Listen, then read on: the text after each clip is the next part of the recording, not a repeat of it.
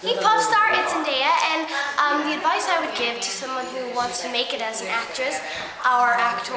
um, I would say just be confident with yourself and really make sure that you really want to do it and you want to commit 100% because it takes a lot of hard work. So first of all, make sure you love it, and second, um, build up your confidence and be happy with yourself.